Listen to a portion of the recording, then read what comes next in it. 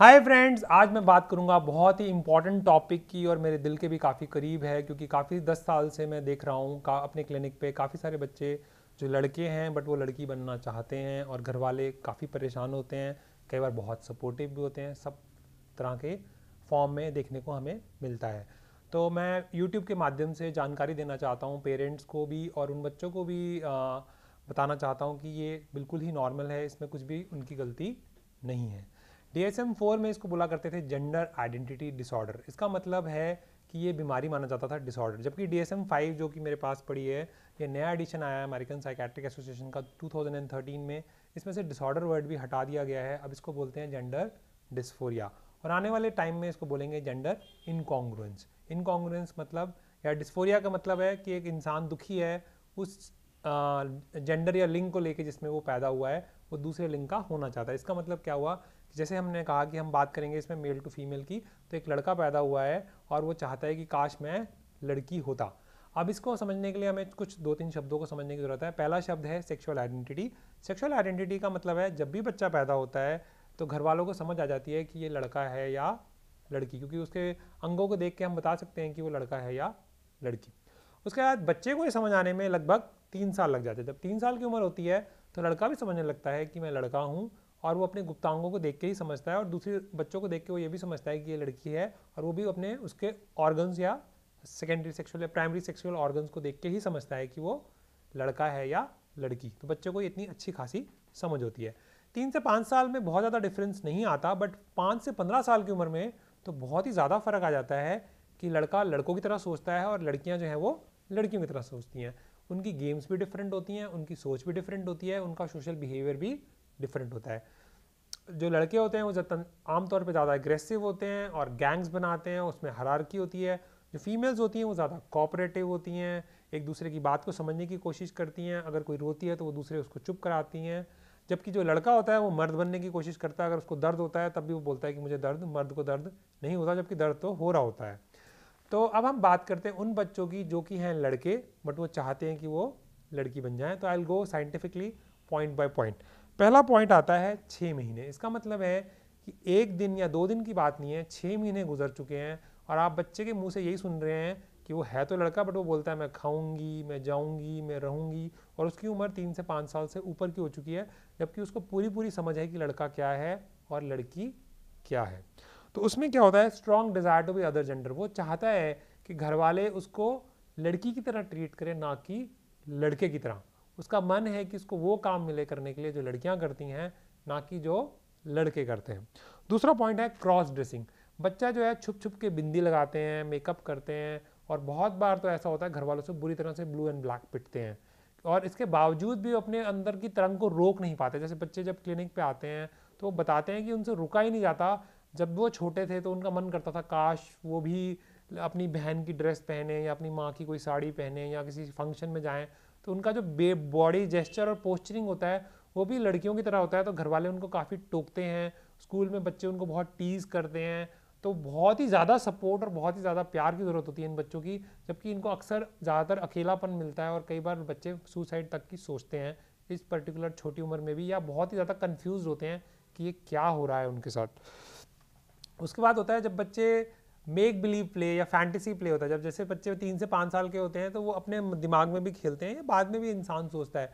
तो जब वो खेलते खेलते भी सोचेंगे तो जो एक लड़का है, उसके मन में ख्याल आएगा कि खाना कैसे बनाना है या सफ़ाई कैसे करनी है या केयरिंग जो नर्स नर्स कैसे खेलना है या स्कूल की टीचर कैसे बनना है तो वो फेमिनिन जेस्चर्स होंगे। और सोच भी जो होगी, वो लड़कियों वाली होगी, लड़कों वाली नहीं होगी। अगला जो पॉइंट है, जो सिर्फ़ टॉय सिलेक्शन है, जैसे पापा मम्मी बोलेंगे कि तुझे खिलौनों में क्या चाहिए? तो बोले किचन का सामान चाहिए मुझे, या फिर कुकिंग का सामान चाहिए मुझे, या फिर निटिंग का सामान चाहिए। तो घर वाले बहुत ही अजीब साउंड करेंगे कि ये क्या हो रहा है। ऐसा तो नहीं होना चाहिए, लड़का है तो इसको कम से कम बैट बॉल मंगाना चाहिए, या टेबल टेनिस मंगाना चाहिए, या बैडमिंटन मंगाना चाहिए, या फिर इसको तलवार वगैरह के साथ खेलना चाहिए, जैसे दिवाली दशहरा में होता है। ना कि इस तरह की गेम खेलनी चाहिए जो कि लड़कियाँ अक्सर खेलती हैं, जैसे स्टापू खेलना, इलास्टिक खेलना, ये सारी चीज़ें। उसके बाद अगला पॉइंट आता है प्लेमेट्स आमतौर पर जैसे कि मैंने आपको बताया कि पाँच से पंद्रह साल के जो बच्चे होते हैं, वो लड़के लड़कों के साथ ही खेलते हैं और लड़कियाँ लड़कियों के साथ। यहाँ पे जो लड़के होंगे, वो लड़कियों के साथ ज़्यादा कंफर्टेबल होंगे और लड़कियाँ भी उनके साथ अपनी दिल की बात करने में ज़्यादा कंफर्टेबल होंगी स्कूल टाइम में। दो, इन बच्चों को बहुत ही टीजिंग का सामना करना पड़ता है और टीचर्स भी कई बार नहीं समझ पाते हैं और कई बार जाने अनजाने में कुछ ऐसी चीज़ें बोल देते हैं जो बच्चा बिल्कुल भी कंफर्टेबल फील नहीं करता और ऊपर से घर वाले भी यही बोल रहे होते हैं, सब तरह से उनको यही मैसेज मिल रहा होता है, काफ़ी कन्फ्यूज़न होती है। आज से 10 साल पहले तो काफ़ी सारी दिक्कतें थी बट अब क्योंकि सोशल मीडिया है फेसबुक है, बच्चों के सीक्रेट ग्रुप्स हैं तो वो समझ तो बहुत जल्दी जाते हैं कि वो जो हैं वो सही हैं और काफ़ी हद तक वो अपनी जानकारी बहुत ज़्यादा इकट्ठा करते हैं। वैसे भी जब हम माइनॉरिटी में होते हैं या जैसे हम लोग ही हैं, हम किसी फॉरेन कंट्री में जाते हैं तो हम हर किसी को दोस्त बनाना चाहते हैं, चाहे वो एशियन ही क्यों हो ये भी बड़ी दूर की बात हो जाती है कि इंडिया से है, कि पाकिस्तान से या केरला से है। तो this is very very important बच्चों को जानकारी है। पहले जितनी प्रॉब्लम तो नहीं है बट हाँ उनके पेरेंट्स इस सच को बर्दाश्त करने की हिम्मत रखते हैं कि नहीं, ये बहुत ही इंपॉर्टेंट है। और स्कूल वाले भी इस चीज़ को समझते हैं कि नहीं, ये भी बहुत ही ज़्यादा इंपॉर्टेंट है बिकॉज़ बहुत ही डिफ़िकल्ट और डिफरेंट एज है बच्चे की। इसमें वो सेक्सुअली भी चेंज हो रहे हैं फिजिकली भी चेंज हो रहे हैं मेंटली भी चेंज हो रहे हैं और खासकर जिस चेंजेस से नॉर्मल टीनेजर गुजरता है, उसको दिक्कत आती है। यहाँ तो बच्चा दूसरे जेंडर के टीनेजर्स को सोच रहा है तो उसको और भी ज़्यादा दिक्कत आती है। अगला पॉइंट है strong rejection of masculine activities मतलब जैसे लड़के से उम्मीद की जाएगी कि वो रात को कहीं भी चला जाएगा, कुछ भी कर लेगा और वो थोड़ा बोल्ड होगा करेजियस होगा या उसको भारी सामान उठाना चाहिए, ये करना चाहिए, वो करना चाहिए, जो लड़कों से उम्मीद होती है। लड़कियों से जो उम्मीद होती है, ये, वो वाले काम ज़्यादा पसंद करते हैं लड़के, कि मम्मी का हाथ बटा देना, वो नेचुरल होता है, खाना बनाने देना, वो उनको नेचुरल होता है। या कोई छोटा बच्चा है घर में, उसकी केयर करना, वो भी उनके लिए नेचुरल होता है। वो बहुत ही अच्छे से समेट पाते हैं चीज़ों को इमोशंस को बहुत अच्छे से समझ पाते हैं, जो कि अक्सर लड़के नहीं समझ पाते।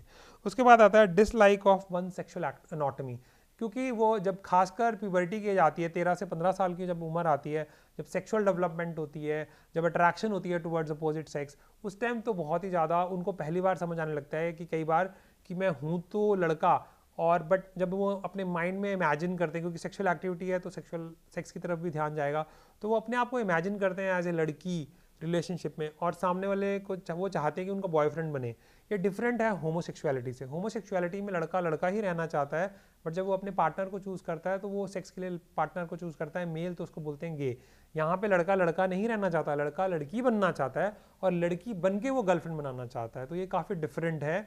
uh, कुछ में रेयरली में होमोसेक्सुअलिटी भी हो सकती है but that is very very rare gender identity disorder में। उसके बाद है a strong desire to have for primary और सेकेंडरी सेक्सुअल करेक्टरिस्टिक इसका मतलब उनका मन करता है कि काश उनकी भी चेस्ट जो है वो फीमेल्स की तरह होती, वो बाकी फीमेल्स को देखते हैं, घर में मदर को या अपनी बहन को या अपने किसी रिलेटिव को तो उनका मन करता है कि काश उनकी बॉडी भी उस तरह से होती, वो भी उन ड्रेसेस को पहन सकते, पहन पाती, बल्कि उनका तो मन करता है वो अपने आप को स्त्रीलिंग में ही बात करना चाहते हैं। तो ये जो बच्चे हैं, इन्हें बहुत ही प्यार की ज़रूरत है कंसर्न की ज़रूरत है। अगर आपको डाउट है तो आप किसी स्पेशलिस्ट को दिखा सकते हैं, खासकर साइकेट्रिस्ट और साइकोलॉजिस्ट को, या हार्मोनल थेरेपी जो एंडोक्रोनोलॉजिस्ट हैं प्लास्टिक सर्जन हैं, जो इसमें डील करते हैं, जो इसमें डील नहीं करते, वो नहीं समझ पाएँगे, जो डील करते हैं, वही इसकी गहराई को समझ पाएँगे। वो बहुत ही ज़्यादा इंपॉर्टेंट है बिकॉज़ बहुत बार क्लिनिक पे ऐसा होता है, जब घर वाले बोलते हैं कि, डॉक्टर साहब, आप दवाई दे दीजिए, आप इसकी काउंसलिंग करा दीजिए, आपका दिल करता है तो बिजली के झटके भी लगा दीजिए इसको, बस इसका दिमाग जो भ्रम हो गया है, उसका ब्रेन वॉश कर दीजिए जो कि प्रैक्टिकली बिल्कुल ही गलत है अनएथिकल है इलीगल है, ऐसा कुछ नहीं होने वाला कि कुछ भी करने से उनका मन बदलने वाला है। जिनका मन बचपन से लेके 10-15 साल हो गए हैं छः महीने का तो क्राइटेरिया है। बट अक्सर जब क्लिनिक पे लोग आते हैं तो 17-18 साल 16 साल 26 साल 36 साल के होते हैं और वो काफ़ी सालों से ये ऑलरेडी जी रहे होते हैं। तो as as a doctor as a psychiatrist मेरी ये हम्बल अटैम्प्ट है कि ये जानकारी देने की, उनके लिए भी जिनको ये इशू है और उनके पेरेंट्स को भी ये बताने की कि बच्चे की इसमें कोई गलती नहीं है। भगवान ने कह लीजिए, नेचर ने कह लीजिए, उनको बनाया ही ऐसा है। और हमारा फ़र्ज़ बनता है कि हम बच्चे के लिए क्या नहीं करते, उनकी पढ़ाई के लिए, उनकी शादियों के लिए, उनके फ्यूचर के लिए। तो जो जैसा उनका मन कर रहा है, अच्छी पेरेंटिंग ये नहीं है कि हमारा जो मन करता है बच्चा वो करे। अच्छी पेरेंटिंग ये है कि जो बच्चे का मन करता है हम उसको समझें और उसको सपोर्ट करें तब, जब उसको सबसे ज़्यादा ज़रूरत हो। जैसे जब बच्चा फ़र्स्ट आता है क्लास में तो हर कोई उसकी मदद हाँ बड़ी तारीफ़ होती है, बड़ा प्राउड फीलिंग आती है। बट जब बच्चा फेल होता है, तब उसको माँ बाप की ज़्यादा ज़रूरत होती है। जब वो दिक्कत में होता है, जब कठिनाई में होता है, परेशानी में होता है, जब वो आप पे डिपेंडेंट होता है, कल को जब वो फाइनेंशियली इंडिपेंडेंट हो जाएगा, तब उसको आपकी उतनी ज़रूरत नहीं होगी। तो आज के लिए दोस्तों, इतना ही। अगर आपको इस तरह के वीडियोस पसंद आते हैं तो आप लाइक कर सकते हैं और आप शेयर कर सकते हैं उन लोगों के साथ जिनको इस तरह की जानकारी की बहुत ज़्यादा ज़रूरत है। डिफरेंट चीज़ों सोशल मीडिया प्लेटफॉर्म्स पे, चाहे वो फेसबुक हो, चाहे व्हाट्सएप ग्रुप्स हों और उसके अलावा आप कमेंट बिलो कर सकते हैं अगर आप कुछ जानना चाहते हैं। आप चैनल को सब्सक्राइब कर सकते हैं और बेल आइकन को हिट कर सकते हैं कि हमारे अपलोड करते ही आपको वीडियोस मिल जाएँ। तो आज के लिए दोस्तों इतना ही। धन्यवाद।